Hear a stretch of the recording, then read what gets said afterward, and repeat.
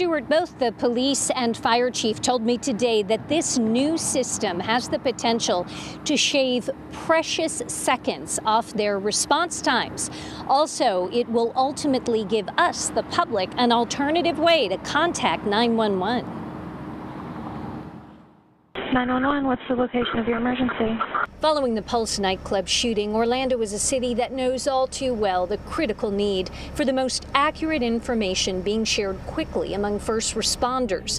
Today, the city's police and fire chief sat side by side as the city council approved spending 1.9 million for a state-of-the-art dispatch system. Currently, police and fire dispatchers work in the same room at the Emergency Operations Center, but they work on separate platforms that don't share data. The new system will allow both agencies to share one platform and shave crucial seconds off their response. Picture yourself getting a group text message. Um, both both people in the group get the information at the exact same time, and that's exactly what this new computer-aided dispatch system allows for. Eventually, the new system will also allow dispatchers to send first responders live feeds from video cameras and even drones.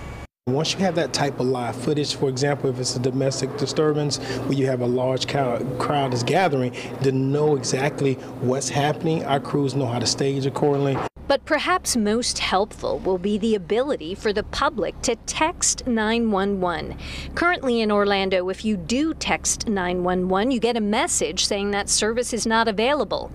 It's an option that could have been helpful in the Pulse shooting, where victims whispered into their phones for fear the shooter might hear them. Now, this new system will take eight to nine months to build out, and at this point, there's no hard date for when the text to 911 option will be active here in Orlando. Currently, you can text 911 in Osceola County, and Orange County has said it hoped to have that option active at some point this year.